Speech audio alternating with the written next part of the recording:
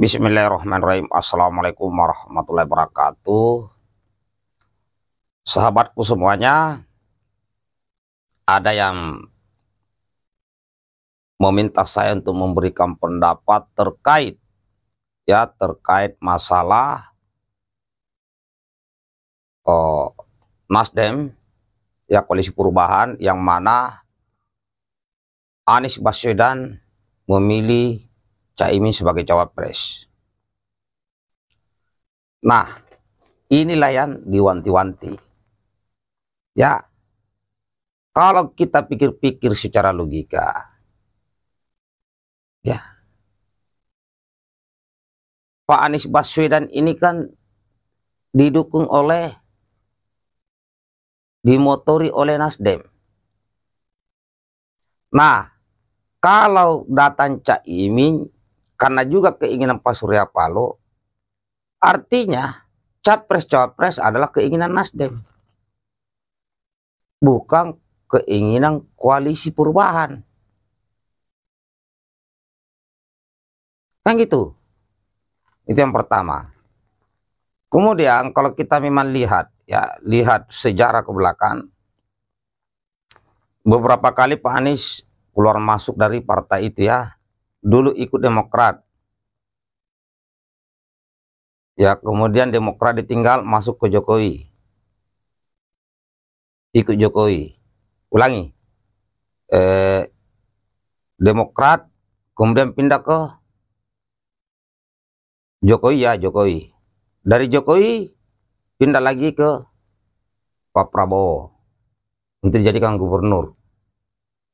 Dari Pak Prabowo pindah ke Surya Paloh. Dari Surya Paloh mengajak Demokrat untuk koalisi perubahan. Tapi ternyata sekarang Partai Demokrat merasa dihanati. Dan bukan hanya sekali ini. Itu kawan. Itu pendapat saya.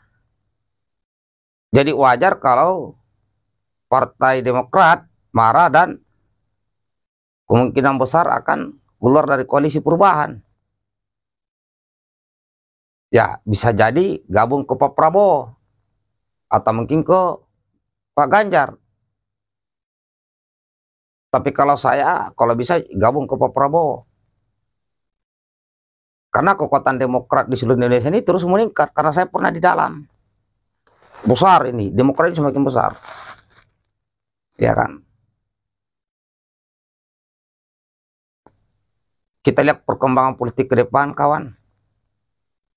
Ke arah mana Demokrat akan ikut dalam pesta demokrasi ini? Ya semoga saja gabung ke Pak Prabowo. Karena kalau ikut Pak Anies hanya sebagai tim hura-hura hanya sebagai tim kampanye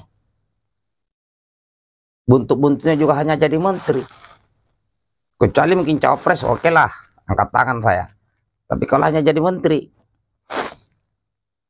lebih gabung ke Pak Prabowo insya Allah. Itu lebih bagus. Daripada merasa terhianati. Nah itu pendapat saya kawan.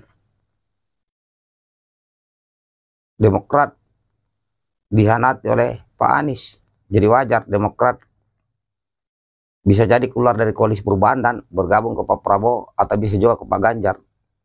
Itu tergantung Demokrat. Kalau saran saya lebih baik ke Pak Prabowo. Itu jawaban saya kawan.